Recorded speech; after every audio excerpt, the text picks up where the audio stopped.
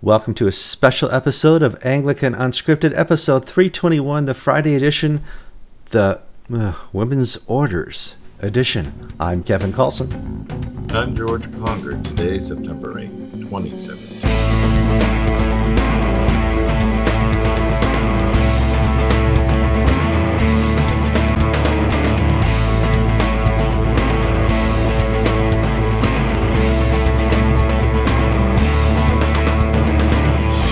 Okay, welcome to a special program. Uh, geez, for the last five, six, seven years, uh, the ACNA has fretted one decision. What will all the bishops do when they're in a room and they have to decide about women's orders? And the first decision they had was, well, we're going to put together a task force. And that task force, the job is to kick this down the road. Uh, at least until you know a certain archbishop can retire and not worry about it, and maybe put this into GAFCON's hands and do this on an Anglican communion wide uh, basis.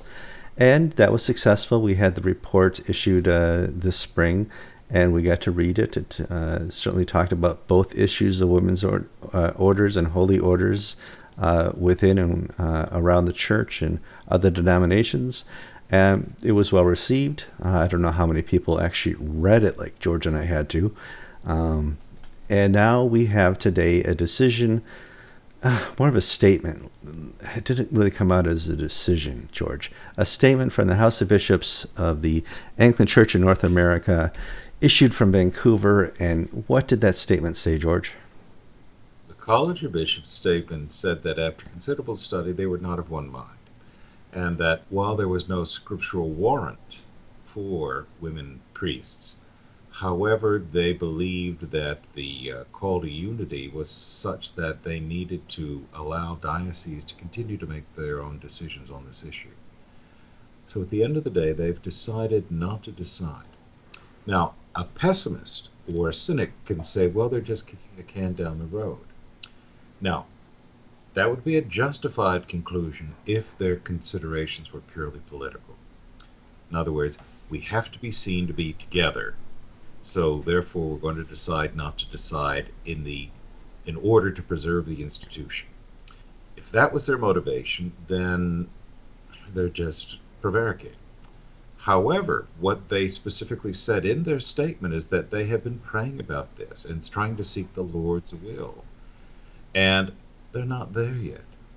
So that rather than take a precipitous step that breaks fellowship with people whom they recognize as being full brothers and sisters in Christ over this.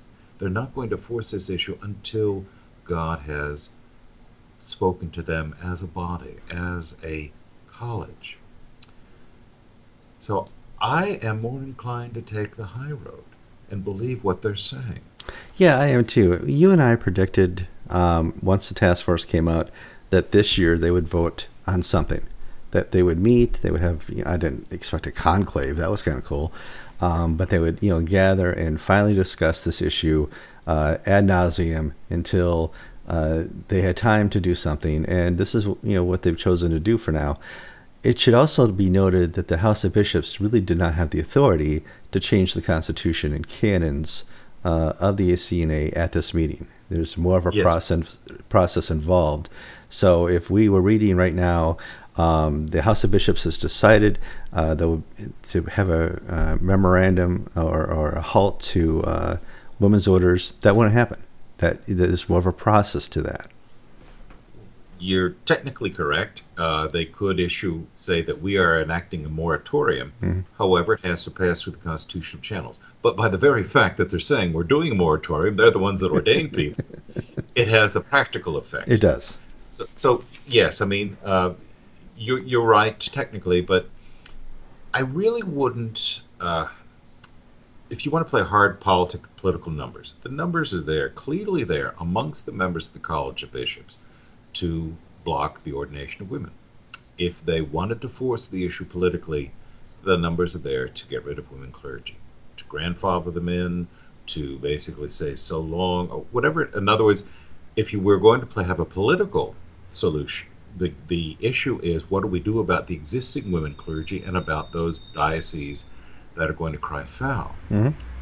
However, they decided not, you know, as they say, because they're not led by spiritual.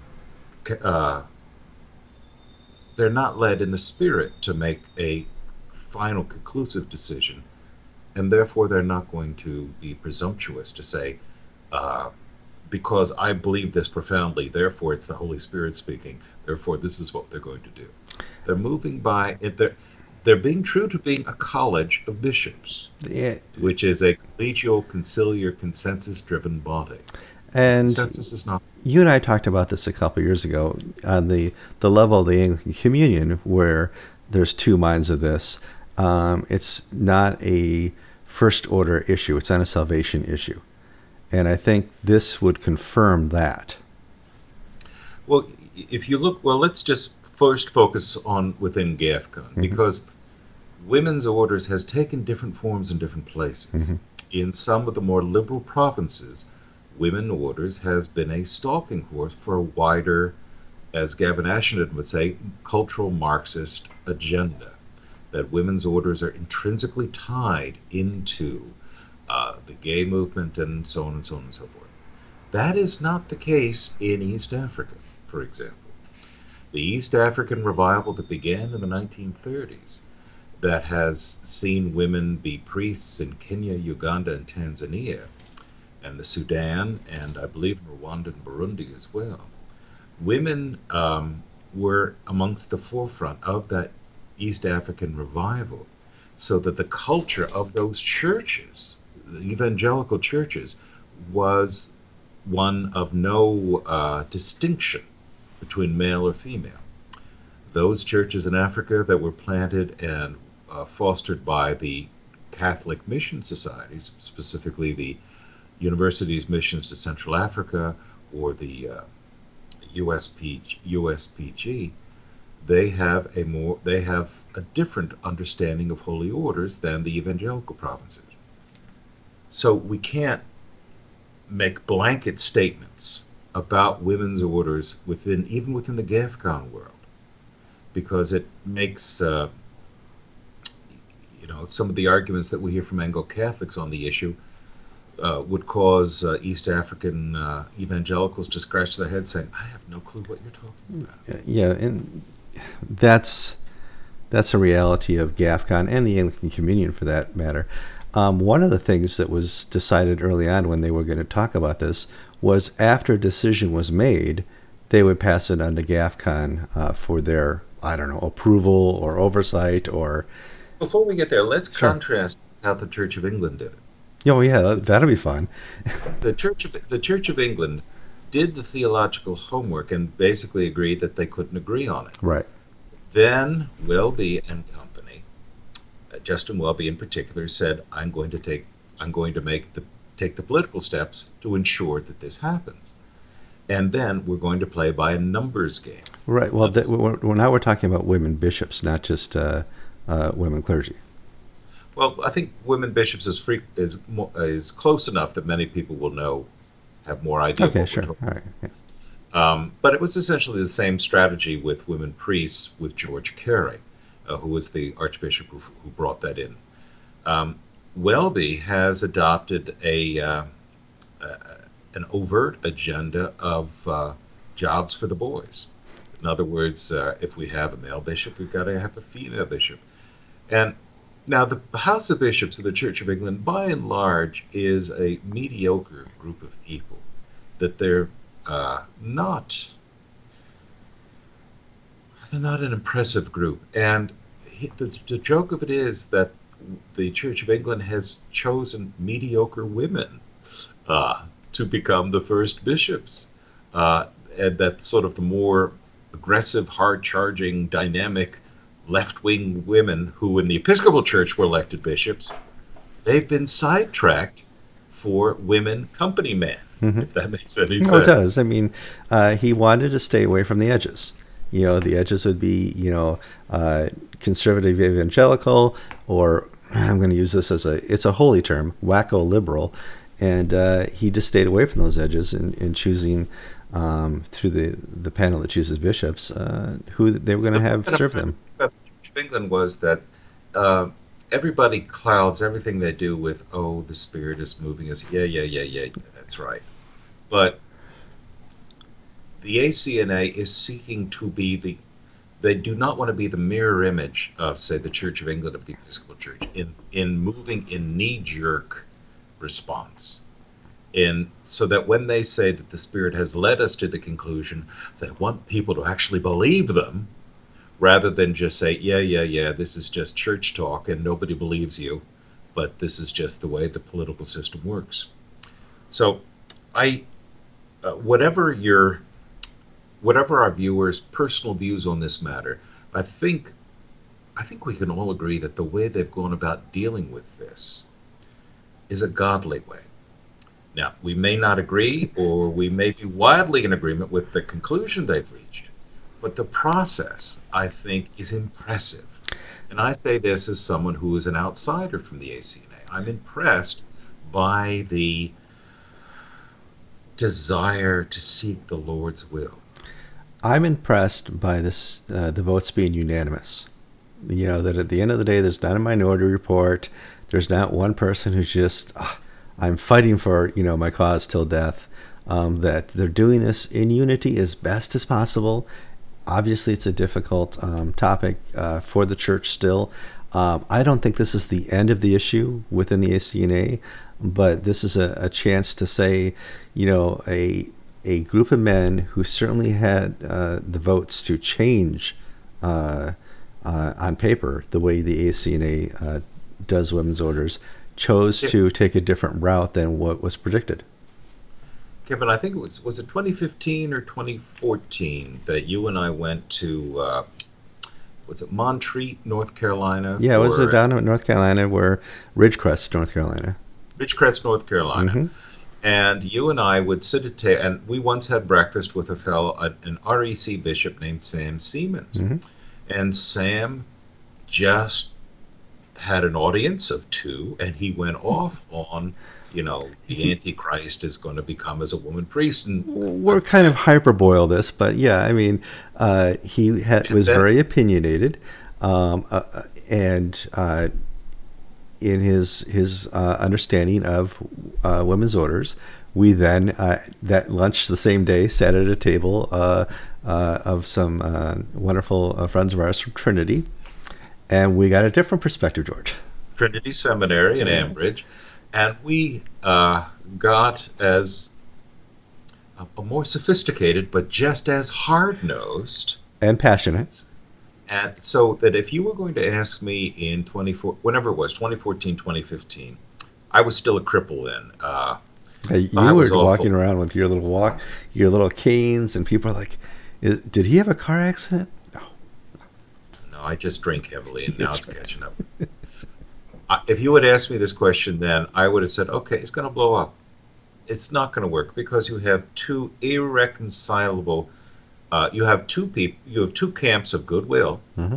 In other words, I can't point to one to say they're cranks, they're kooks, they're nuts. Uh, though there's a great temptation to do so. Uh, and they're not going to be able to come across. Here we are, three, four years later, and they have avo- and these are the this is that level of leadership, and that level of leadership has come to a unanimous decision that the Lord has not spoken definitively to them. And to make that statement requires a degree of theological and spiritual maturity. Again, you may not agree with the outcome, but I think I, I would challenge anyone who would uh, question the dignity and integrity of how they've gone about doing it. Well, we were not at the meeting, in the meeting, could not record the meeting, so we don't know what happened. I am sure there's bishops flying home today who do not agree with the final decision, uh, the final outcome. Um, but I think there's a lot of them who are relieved that you know there was a, a, single decision and they got they get to fly home in unity. They're not worried that the uh, ACNA is going to crack up by Christmas, um, and there's deep divisions. Um, they understand, I would hope, that there's still going to be this is still going to be a issue on the lips of a lot of clergy and laity uh, within the ACNA. Uh, this was came out an hour ago on Facebook, and Facebook is melting down. or uh, Anglican Ink server is melting down. uh, because it's an important issue to people. Now, let's sort of shift gears, and now we can be cynical and political. okay, and, uh, okay, that's good. All right, yeah. Um, let's just do sort of the what ifs. What if they had said, okay, moratorium on women's orders, and now we're going to figure out what that looks like? Meaning, Okay, we uh, grandfather in. Quick answer.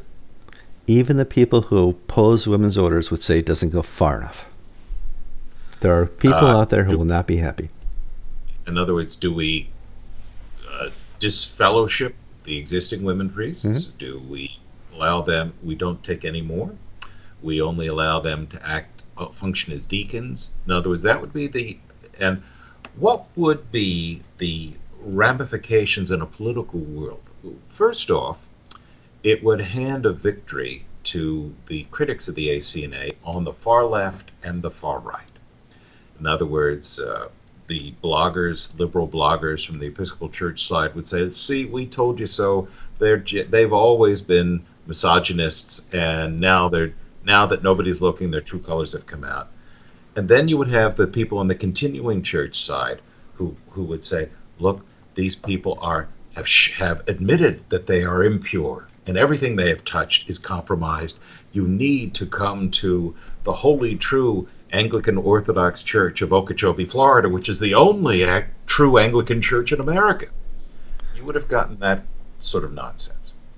And now this is something that's going to upset some people, but I'm on the board of the Diocese of Central Florida, an Episcopal diocese, uh, and I'm privy to things that go on. Uh, we've, in conversations with our uh, deploy, Diocese of Central Florida has no prop. We we've ordained 21 people in the last nine months, and we are able to place them. They get jobs, and we are every job opening we have, we get people from all across the Episcopal Church wanting to move to Central Florida. We've also had about two or three dozen ACNA priests sort of quietly asking, "Can we come back on board?" Um, why? Well, each case is probably unique and individual. So far, none have done so. But um, if the women are kicked out, enough, some of them, I don't know if all of them, are going to go and want to come back into the Episcopal Church, into the safe diocese. Mhm. Dallas, that ordained women, Dallas, Central Florida, so on and so forth. And that would be a political fiasco because essentially uh, there is no difference functionally uh, in the day-to-day life an Episcopal priest in Central Florida and an ACNA priest in terms of doctrine, discipline, beliefs, and so on and so forth. We just have screwy people in charge in New York. You have less screwy people in charge in what Ambridge, whatever. if if if you start seeing people going back into the Episcopal Church, I think that would be a political PR. Be fiasco. It would. I mean, there are places, I, I think in Canada, where um, I know a large proportion of certain places have uh, female clergy. I know some dioceses that uh, maybe 10% uh, are female clergy. And that's would be a, a very difficult situation uh, And the going bishops forward. of the Atlantic and the Bishop of Pittsburgh, Mhm. and I think there might be one other, are married to female deacons. Of course, they're female deacons. They would. Well, one's a priest, I think. But okay, yeah. Um, Uh, uh, so that you know that this really would be problematic on many levels. Yeah.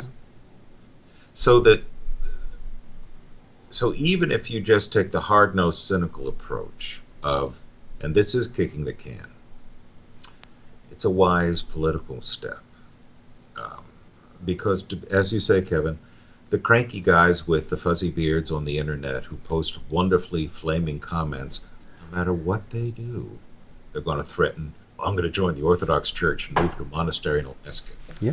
yeah. You haven't done it now you're not going to do it No, I, I, th- I, there's truth to that. A lot of people said, I'm going to wait for the decision. And if it's not what I want, I'm leaving. And of those, I think four or five really will. But if you haven't left already, you're, you're probably not going to leave uh, based on, on today's news. Now, George and I sat down almost two and a half hours ago to, to record today's episode, not knowing this would break uh, as a, uh, a press release and that we would do a live show. I think I brushed my teeth. Yeah, we're good. Um, so we, we weren't prepared to, to sit here live, and we discussed what we're going to talk about. And we wanted to talk about this morning the contrast between a strong ACNA and a weak GAFCON.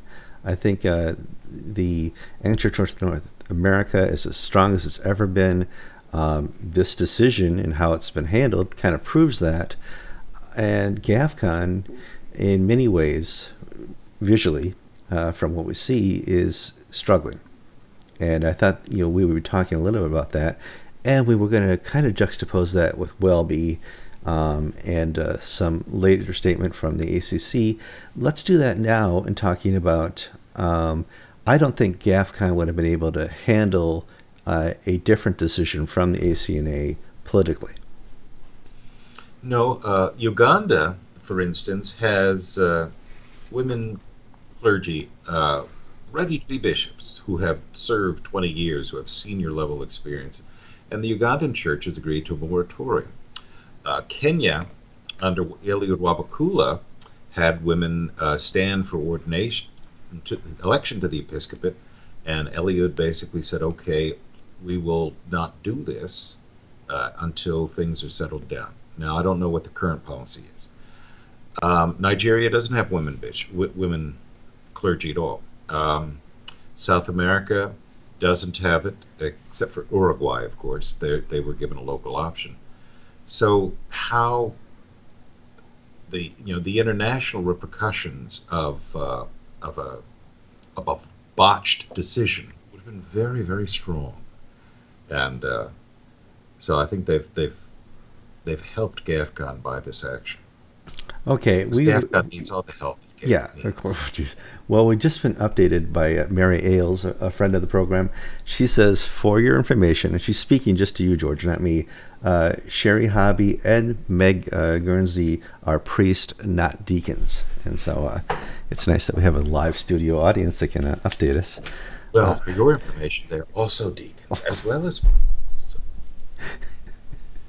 Oh, my. the world of technicalities. Um, so let's talk a little bit. Thank you for that. I, I had. I can't keep all these things in my head. Not for a live program. I don't know, but we need to tell our people about once every third program, we have to go through at least three tries. Um, so we're getting lucky so far today. Um, let's talk about. The, let's talk about what the problem is. What's the problem with sure. Yeah, the, the, the inherent weaknesses.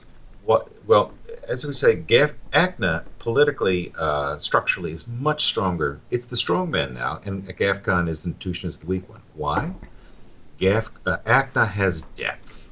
It has its House of Bishops has acted unanimously. When Foley Beach speaks, everybody knows that he is speaking on behalf for the organization, and that's where it is. Mm-hmm. When Nicholas Okoh speaks for GAFCON, he is speaking as Nicholas Okoh and not all the GAFCON primates will come along. And, uh, and, they may agree, they may not agree. So when Nicholas Okoh released a statement saying, I'm not going to the primates meeting, uh, he only is now joining uh, Uganda because uh, Kenya, Ug- uh, Kenya, Rwanda, Tanzania, South Sudan, North Sudan, Congo, um, probably South America will probably go there's no unanimity because GAFCON at this stage is, is a collection of primates. There's no depth to it.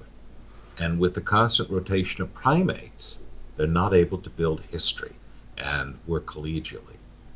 Um, no, and that's that's the truth. I mean, if GAFCON in the early stages had said we need to set up a structured organization, uh, much like a denomination, uh, perfect example here in America the Episcopal Church has built in an infrastructure um, that's, despite uh, its its issues, is legally binding.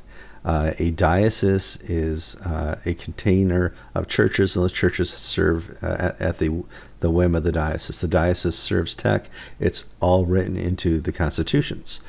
If we could have constitutional um, bylaws that uh, ascertain some authority to GAFCON on behalf of these provinces, it would be much uh, more beneficial and there would be less primate turnover that would affect GAFCON. I agree with the, in principle, with the point that you, you raise. And I think you raised an important point, which is that, uh, for instance, we've West Africa was a member of GAFCON under uh, Justice uh. His successor, uh, Daniel, uh, I think it's Yinkah, uh, Archbishop Daniel, uh, has been cultivated by uh, the Church of England and the Episcopal Church for years, so that when he became Archbishop, West Africa pulled out. Um, when uh, Eliud Wabukala retired, Jackson Ole Sapit came in, and because he is a weak primate, not that he's a weak person, but because he's a member of the Maasai tribe and he's young, and the focus of power is in Nairobi, and he's an outsider, and he has not been able to get everybody on board with his agenda. He has not been able to keep Kenya within the fold. I expect uh, Kenya to drop out of GAFCON eventually Mm-hmm. if, if if the trajectory stays the same.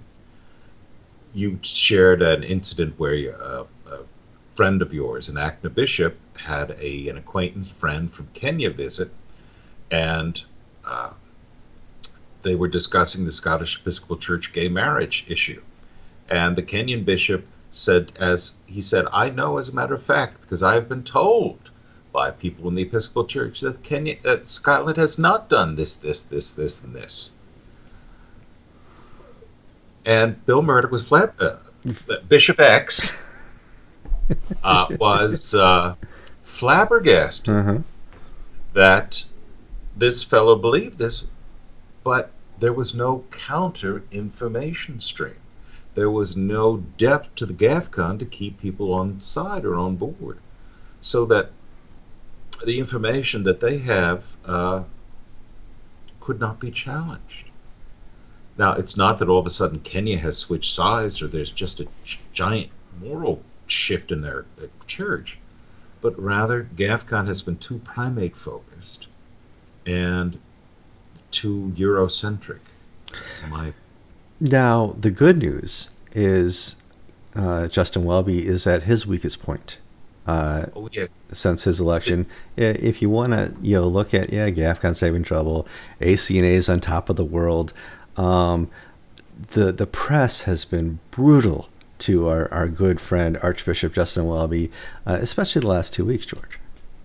it, now in the past it's just been you, me, and Gavin who have been brutal to Justin Welby in a loving, sweet sort Yeah, of way. Like oh, bromance. Stay here, come on.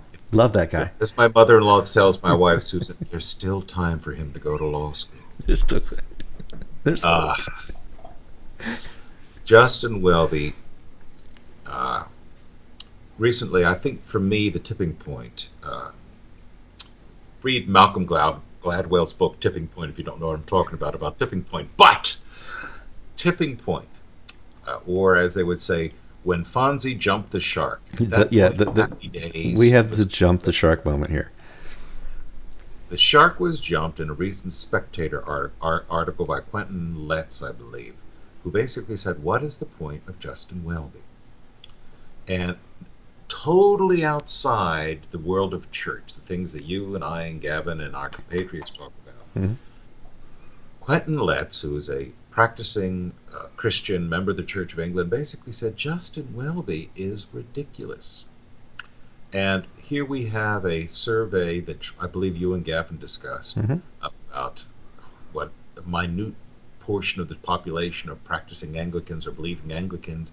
And the first thing out of Justin Welby's mouth the next day is, wow, socialist economic policy. Something totally inane and and Justin Welby in this, for the Spectator has become a person of ridicule.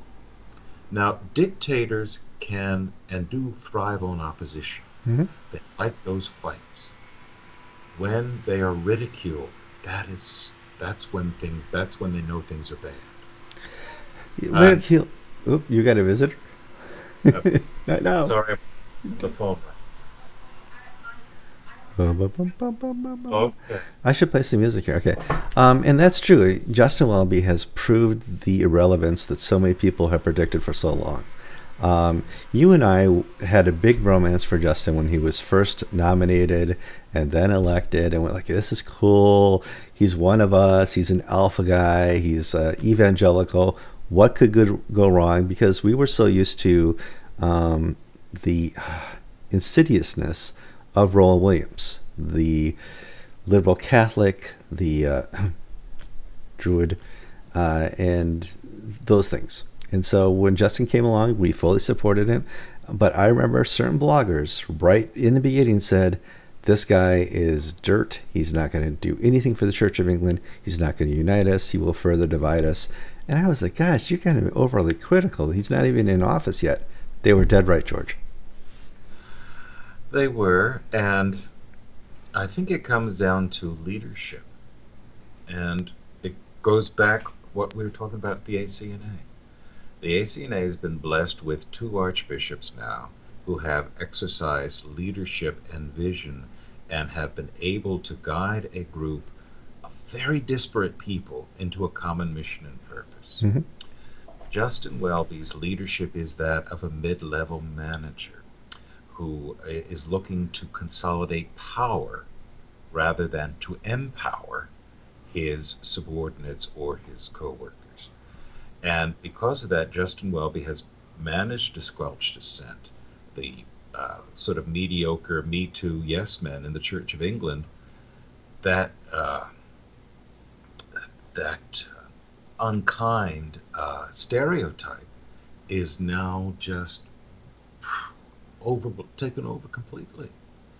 Um, you know, we we saw it when when Gavin Ashenden, for instance, uh, was basically pressed to step down as a chaplain to the Queen because he was saying truths about Islam. Um, he was saying nothing that was contrary to Christian doctrine. He was just being politically awkward for the conservative government and uh, the church bureaucrats.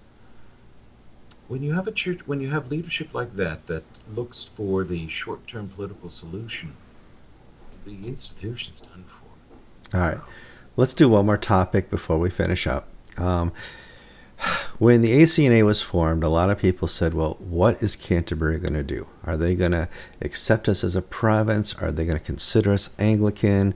Um, there was a uh, delegates uh, uh, submission under Rowan Williams that would say, hey, uh, we recognize uh, the ACNA. That went through and was studied. Rowan Williams put out a paper that said, Anglicanism is more than that. It's more of diocese to diocese relationships, and if you're not a diocese, you can't recognize another diocese. So even if I, Rowan Williams, said that ACNA was a province, they wouldn't be a province because they don't have diocese relationships yet. I know. We are now to the point where uh, there's such rumors that the ACNA is a province that uh, uh, Justice, what's his, how do you pronounce his name? Josiah Idowu-Fearon. Okay, thank you, George. Um, made a statement uh, this week that said, You're kidding.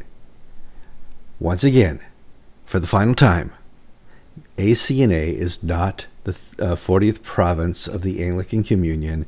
And at that point, I said, you know, after Justin and all the crowd has absolutely decimated uh, the Church of England and, and what it means to be an Anglican, uh, I'm kind of glad that they, they finally came out with this official statement, George. Well, let's put it this way the ACNA is much a province of the Anglican Communion or a member of the Anglican Consultative Council as Josiah Idowu-Fearon is an archbishop. Amen. It's meaning he's not an archbishop even though he likes to use that title, he got fired from that job. And it's sort of bad taste to continue to refer to yourself after you've been demoted. Uh, and ACNA is not and has never claimed to be a member of the Anglican Consultative Council. That is the definition that Fearon is using.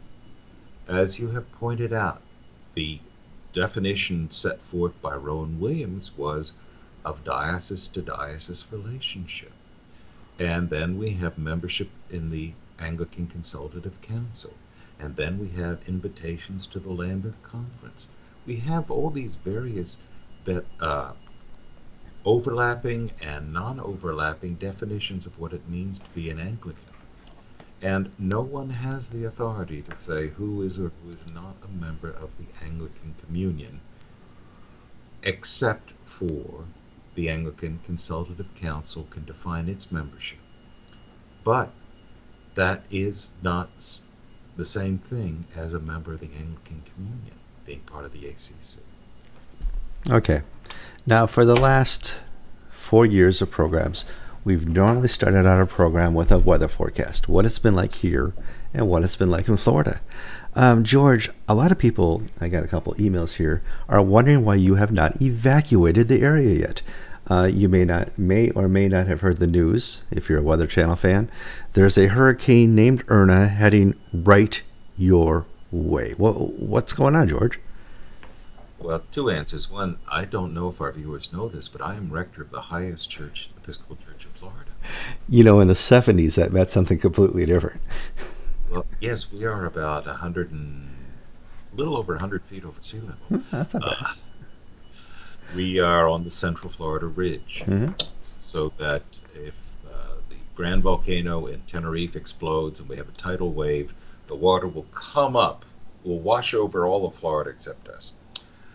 Uh, well, two reasons. One, uh, the uh, while we were doing our pre-tape pre-show, uh, my phone kept ringing, and my cell phone kept going because our local sheriff issued an evacuation order for areas along the coast east of Highway 19 in the town of Crystal River.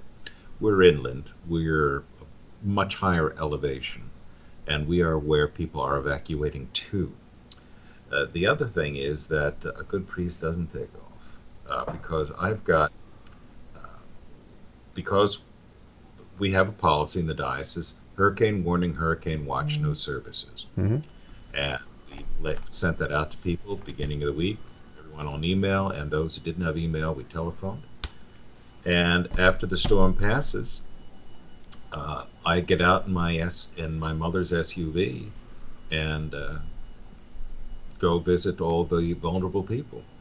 Um, while we had a pre-show. Uh, Kevin, uh, I was interrupted for about 15 minutes because I have an elderly man uh, with PTSD. Uh, he has diabetes. He's on oxygen. He lives alone with his dog, and he got a message from the sheriff's office he has to evacuate. And he was hysterical. What do I do? Where do I go? I have no family. I have no money. This and that. And I walked him through the steps that he would take that you know, we, we do the evacuation up to 48 hours before. Call the sheriff's department. They will take you to the shelter. Bring your dog, bring the dog food, and you know, I will follow up with you after the storm to make sure you're home and everything's okay. Part of my job as a priest with an older congregation is that I go to everybody's house and I contact everybody after the storm. Mm-hmm. So the idea that I evacuate is contrary to now, if it were an issue of safety, if I were on Miami Beach right now, I would have evacuate. Oh yeah. Because, because I am not in a flood zone, the church or my residence, uh, it's incumbent upon me to stay for my people. We do want to thank you all for your time. You sat with us for a good 41 minutes. we did our special live show uh, talking about the House of Bishops and their uh, statement on women's orders in the Anglican Church in North America. I'm Kevin Kallsen. And I'm George Conger. And you've been watching episode 321 live from Hurricane Irma on Anglican Unscripted.